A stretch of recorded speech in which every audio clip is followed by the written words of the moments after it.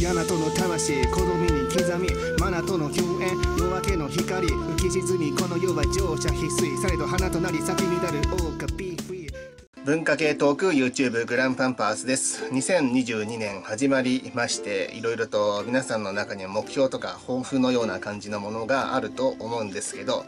私としてはまあ英語を勉強して1回はね英語で動画を出してみたいなっていうのが目標の一つではあります。あとはまあ YouTube チャンネルを大きくするとかっていうのもありますしあとまあ自分自身の中でのね仕事の方でのメインの仕事の方での目標だったりとかねまあいろいろとあるんですけれども、えー、抱負としてやはりね、ザ・ファーストから始まって B、B ファーストを応援してね、随分経つように、随分といってもそんな何ヶ月かぐらいですけどね、経ちましたけれども、皆さんの中でもいろんな応援の仕方をしてらっしゃる人がいると思います。例えば私が動画でも紹介しましたけれども、あの、ストリーミングパーティー、ストパというものをやっておりまして、MV を再生するっていうパターンのものもあります。あと、これ自体は、あの、スカイハイさん本人も、まあ、あの、皆さんの経済とかね、そういう生活状況を圧迫しない感じでっていうのを、あの、言ってくれているのがありますが、例えば、もともとの既存のアイドルさんたち、まあ、BE:FIRST はアイドルではないんですが、既存のアイドルさんたちの押し方として、CD を積むみたいな感じのやり方が、まあ、あったわけですけど、まあ、あれ自体は、いろんな意見があるとは思いますが、効果としてはあまりね、どっちかっていうと著作権者とかレコード会社の方は儲かるけれども、アーティストの方に行くお金っていうのは実際のところシステムとして大したものはないっていうことの話はスカイハイさんも言っておりました。まあでもそういうものもありますというところはあります。まあ私個人の意見としてはあまりお勧めをしない押し方ではありますけれども、あの、で、あとはまあ本当に、えー、グッズを買ったりとか、あとはツイッターとかでつぶやいたりとか、いろんな方法があるんですけれども、あの実は、もともとツイッターの方でハッシュタグってありますけど、あれでいろんな BMSG 関連のものがあって、例えば、あの、あつ森 BMSG 部かな。集まれ動物、集まれ動物の森という任天堂スイッチの人気のね、あの動物、可愛い動物たちがいっぱいいるゲームがありまして、私も大好きで時々やってますが、まあ可愛くない動物もおりますがね、まあそれはあの、どう思うかは皆さんの、あの個人の判断でってことになりますが、BMSG あつ森部みたいな感じのがありまして、そういう感じであつ森の世界の中で、あの、BE:FIRST だったり、BMSG のことを表したりするっていうのがあるんですが、ね、部活みたいな感じでやってるのがとっても面白いなって思うんですが、その BMSG 部活の中で、BMSG はがき部というのがあるのはご存知でしょうか？はい。まあ、サムネにはしてあるんですけれども、はがき部。私も実は存在をついこの間知ったばっかりというか、まあ本当に昨日とかの段階の話でございますけど、はがきを書いて、あの、いろんな雑誌社であったり、テレビ局であったり、番組だったりとか、企業様に送るっていうのを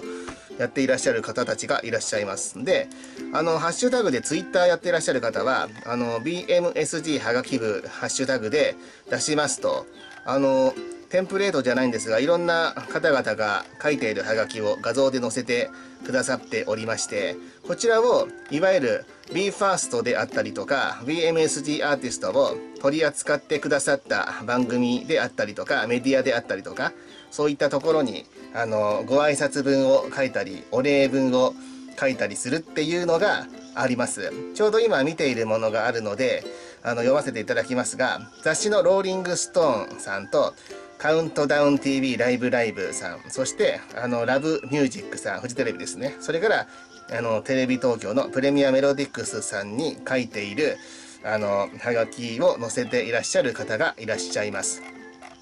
あとはまあそうですね。他にもいろんなものがありますが、まあ基本的には雑誌と番組ですね。という形になっております。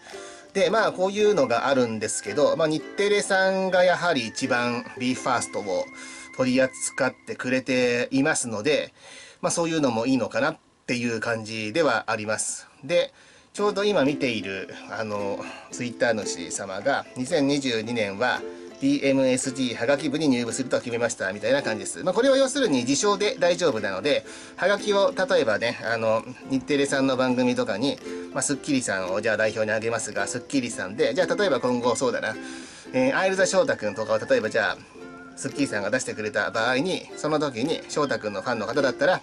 あの、アイルザ翔太出してくれてありがとうございましたみたいな感じでハガキを出すみたいな感じのものです。まあ、ハガキ手紙というのはねやっぱりメールであったりとかそういったものが、えー、主流になっている時代ではありむしろメールも今は古くて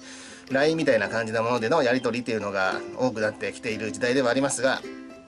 はがき手紙に関する温かさっていうのはひとしおなものがあるんですよ。で、これに関してたまたまそのツイッターを見ていた時に見つけたんですが、実はこのハガキ部というか、ハガキを使って要望をするっていうこと自体が実はすごく効果的なのではないかっていうところの話をしていらっしゃる方がいらっしゃいました。それがいわゆる素人さんではなく、ライターさんの話なんですよ。しかも最近の話じゃなくて2019年のツイートなので、普通に言ったら見つけられないところにはなるんですが、えー、吉田香奈さんというライターの方で、この前編集さんとどんなツイートよりも一通のハガキの方が編集会議に通りやすくなるんだよねと話してて同意。好きな俳優、アイドルを雑誌で見たいなら、ハガキを編集部に出すのが一番効果的。もう一度言います。まあ、アイドルではなくてもアーティストでも、好きな俳優、アイドル、アーティストを雑誌で見たいなら、ハガキを編集部に出すのが一番効果的。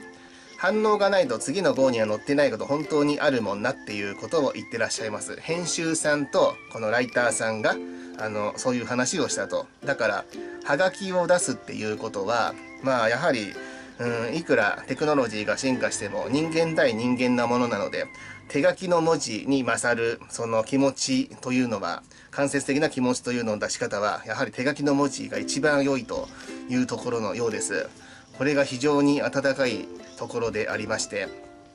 あのベスティの皆さんの中にも例えば何でしょうね SNS とかが怖いだったりとかそういうのが苦手な方もいらっしゃるのは私はあの一応知ってますのではがきでしたらすごくいい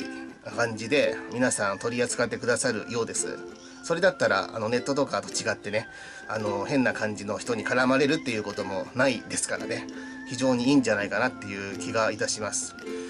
でまあそのいわゆるその吉田香奈さんがほあの他にも告知のリツイート数も実は事項の判断材料になってるのは確か押しは押せる時に押す。これは鉄則みたいな感じで、まあ、リツイートみたいな。告知のリツイートっていうものも実は事項の判断材料になっているっていうことだそうです。だから例えばですけど、じゃあどっかの雑誌で BE:FIRST 特集組みました。こんな感じで、じゃあそうだな。じゃあ、あの、ソーダくんにインタビューをしましたっていうのを出したとします。で、それにリツイートがいっぱい来れば、判断材料にもなるっていうことみたいです。で、まあそれもそうなんだけど、実はハガキが一番編集会議に通りやすくなると。まあ、非常に分かりやすいですよね。編集会議といっても、今リモートとかもありますが、基本的には人間がやるもんなので、こうやってメールを出すんじゃなくて、はがきをね、こうやって出して、こういうのがありますみたいな感じの、そういうのがあると、非常にこれが効果的なのではないかっていう感じで、まあ、ライターさんがいてらっしゃるので、そういうことなんだなと思います。はい。なので、2022年の抱負として BMSG はがき部みたいな感じで、はがきをいろいろなところに送ってみるっていうのも、一つの、あの、ベスティとしての推し活のすごくいい方法なのではないかなと考えました。ということで、あの、紹介させていただきました。皆さんも、もしね、はがきを書くとか、そういう感じのことがね、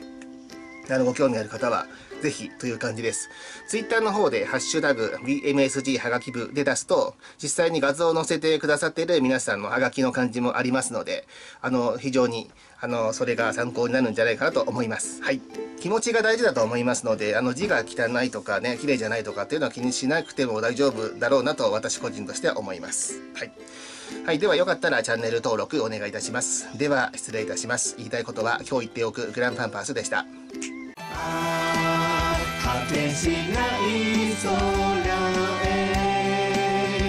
空へ